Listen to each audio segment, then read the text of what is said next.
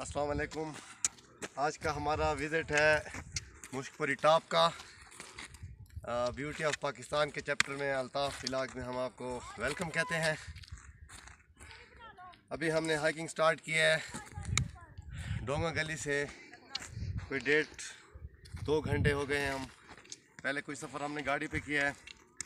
उसके बाद फिर हमने हाइकिंग की है। आज के इस विज़िट में हमारे साथ हमारे दोस्त मोहम्मद जमील जो कि आज पहली मरतबा हमारे साथ टूर पे निकले हैं। तो हम उनको भी वेलकम कहते हैं। थैंक यू मोहम्मद ज़ुबैर साथ है। हमारे दो दोस्त मोहम्मद अदनान और रोमान वो आगे जा चुके हैं। तो हम बताना आपको ये चाहते हैं। कि पाकिस्तान बहुत ही खूबसूरत है और इसकी जितनी तारीफ़ की जाए वो कम है। हम पाकिस्तान के जिस कोने में भी गए हैं हमें एक से बढ़कर एक ज़्यादा से ज़्यादा खूबसूरती मिली है। आज हम का जो हमारा विज़िट का प्रोग्राम था दो दिन का तीन दिन का वो था मुश्कपुरी टॉप का। तो हमने पहले से प्लान बनाया। हमारा यहाँ पहले विज़िट नहीं था।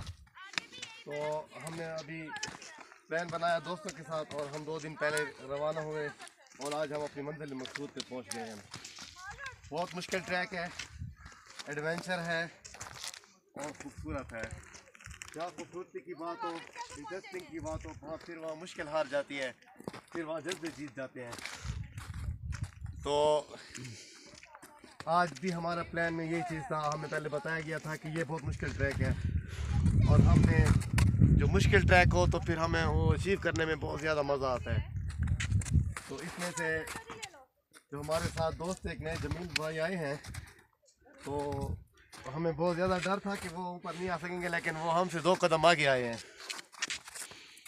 तो आगे हम अभी टॉप पे फुल टॉप पे नहीं पहुँचे। अभी हम ट्रैक हमारा जारी है। तो अभी तकरीबन कोई आठ, दस, पंद्रह मिनट के बाद हम फुल टॉप पे पहुँच जाएँगे और वहाँ की सूरत हाल हम आपको बताएँगे। अभी ये टॉप का फ़र्स्ट स्टॉप है। यहाँ पे कोई कम से कम पंद्रह फुट, बीस फुट बर्फ़ पड़ी है सारी। और जो कि खूबसूरती में एडवेंचर में अपनी मिसाल आप है। हमारा मकसद ये होता है कि अपने मामलात ज़िंदगी टेंशनें परेशानियाँ ख़त्म करके हम पाकिस्तान की खूबसूरती मोहब्बतें लोगों में बांटें उनको दिखाएँ लोगों को दिखाएँ। ताकि जो जो जो ये चैप्टर है ब्यूटी ऑफ़ पाकिस्तान का चैप्टर है इसकी एक अपनी हैसियत है एक वैल्यू है जो कि बहुत कम लोग इस चीज़ को वो करते हैं। अ, इस चीज़ को मद्देनज़र रखते हुए इस अमल करते हैं। ये बहुत कम लोग ये इस किस्म के मामला करते हैं कि घर से निकलना और मामला छोड़ना और इन टारगेट को अचीव करना बहुत मुश्किल काम है। आपको आसपास सारी बर्फ़ नज़र आ रही है। चंद लोग ही होंगे जो यहाँ पे आया आ, आते हैं विज़िट करने के लिए क्योंकि ये बहुत बहुत मुश्किल ट्रैक है। बहुत हाइट पे है ऑक्सीजन की कमी हो जाती है ब्लड प्रेशर लो हो जाता है और ये अपने पाँव दिखा रहे हैं ज़ुबैर भाई कि कुछ भी हो सकता है, लेकिन कुछ तब नहीं होता जब आपके हौसले बुलंद हों। जब आपने एक टारगेट अचीव करने के लिए एक काम करना है, सो करना है, और उसमें इंटरेस्टिंग हो, उसमें एडवेंचर हो तो फिर उसका मज़ा ही कुछ और होता है। चलते हैं आगे आगे की हम आपको सैर कराते हैं। और एक बात जो है ना, इसमें मैं ऐड करूँगा। अल्ताफ़ भाई के तवसत से कि जो लोग ये कहते हैं कि पाकिस्तान में अभी भी टेररिज्म है, वो हमारे मुल्क के दुश्मन है। अलहमद ऐसी कोई बात भी नहीं है। पाकिस्तान इंतहाई पीसफुल कंट्री है। जहाँ भी आप टूर पे जाएँगे, लोग वॉल्टियर हैं। आपको हर स्टेप पे गाइड भी करते हैं और आपके बहुत हेल्प भी करते हैं। अल्हम्दुलिल्लाह, ऐसी कोई बात भी नहीं है। इसके साथ एक और मुख्तसर सी बात, शायद किसी को अच्छी ना लगे वो हमारा प्राइम मिनिस्टर इमरान खान के लिए है कि खुदा रहा आप इस मुल्क के प्राइम मिनिस्टर हैं।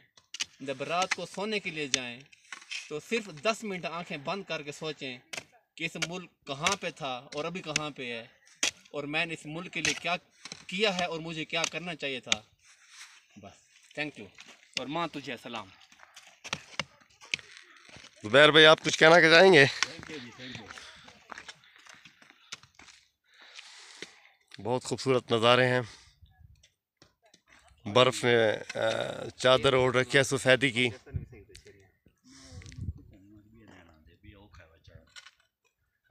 जाओ